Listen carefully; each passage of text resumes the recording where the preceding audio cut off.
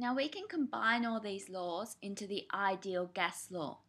The ideal gas law can be written as PV is equal to nRT. This satisfies all three of those equations. In the ideal gas law, N is the number of moles of the gas and R is the universal gas constant. R is equal to 8.314 joules per mole per Kelvin. Now it's a good idea to practice using this ideal gas law. If you go to homework set 4, Phys 1121 students should try questions 3 and 5 and Phys 1131 students should try questions 4 and 6. Now PV equals nRT is one way to write the ideal gas law. This is a useful way to write it when we have a, round about a mole of a substance. If we have a lot less of a substance than that, then there's a more useful way to write this equation. The number of moles of a substance is just given by the number of molecules divided by Avogadro's number. So R over Avogadro's number is just a constant in this case. Those are both constants. So R divided by NA is actually given a special name. It's called Boltzmann's constant and it's equal to 1.38 times 10 to the minus 23 joules per Kelvin. So we can write this ideal gas law, replacing the R on Na with Kb, as PV is equal to NKBT. The capital N means the number of molecules, the little n means the number of moles. So this form is more useful when we only have a small number of molecules. Either form should give you the correct answer. If we're considering a sealed container, then the number of moles is not changing. So we can write PV over T is equal to either NKB or equal to NR, and we can say that both these things are constant. So if that's the case, then if we have any initial pressure, volume, and temperature, we can work out the final pressure, volume, and temperature at any time. Pressure, temperature, and volume are often called macroscopic properties of the gas. This comes about because they're easy to measure. Here's an example question. A bottle of cold water at 5 degrees C is taken from the fridge. The lid is removed and replaced and then it's left in a car on a hot day. The temperature of the bottle reaches 75 degrees C.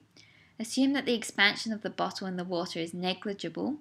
What is the pressure of the gas in the bottle now? Okay, so we're just going to use the ideal gas law. PV is equal to nRT and we were told that the initial temperature was 5.00 degrees C. Then we took it out of the fridge and we took the lid off and put the lid back on. What that tells us is that the initial pressure is 1 atmosphere. So when we took the lid off, the pressure equilibrated with the atmospheric pressure. The final temperature after it's been left in the car is 75.0 degrees C. And we need to find the final pressure. So we have PV over T is equal to NR, which is constant. So P initial, V initial, T initial is equal to P final, V final, and T final. And we're told to assume that any expansion of the liquid or the bottle is negligible. So that tells us that the V initial and the V final are the same, so we can cancel them out. So the final pressure is equal to the initial pressure over the initial temperature times the final temperature.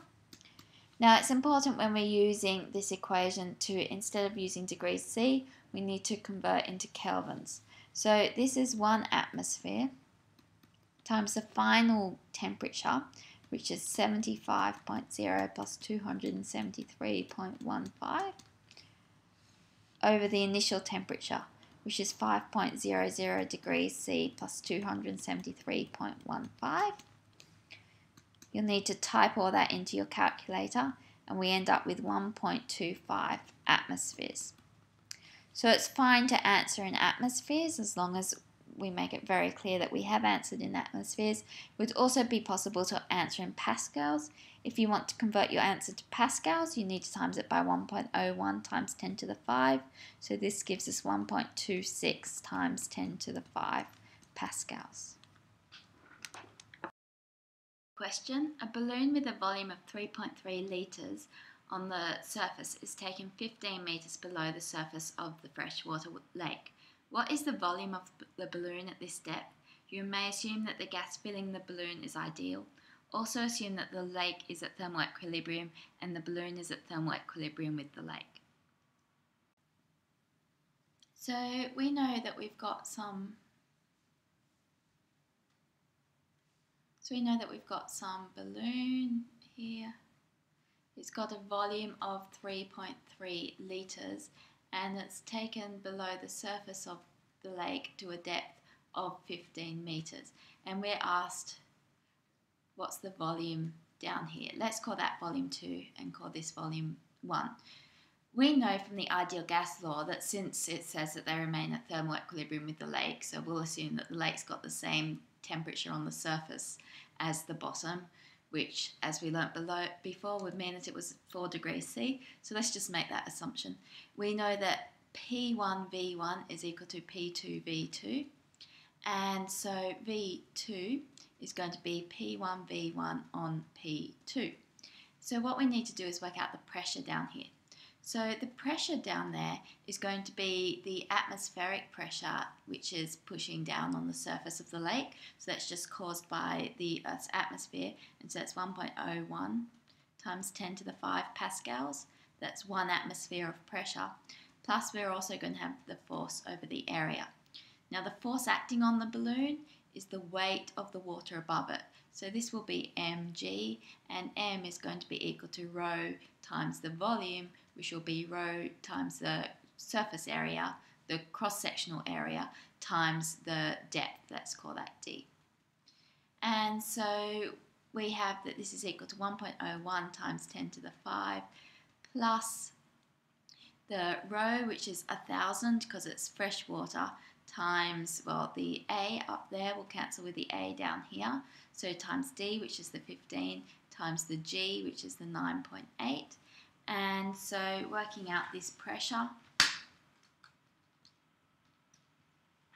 we have 2.48 times 10 to the 5 pascals and so V2 is equal to 1.01 times 10 to the 5 over 2.48 times 10 to the 5 times 3.3 litres and solving that we get 1.3 litres.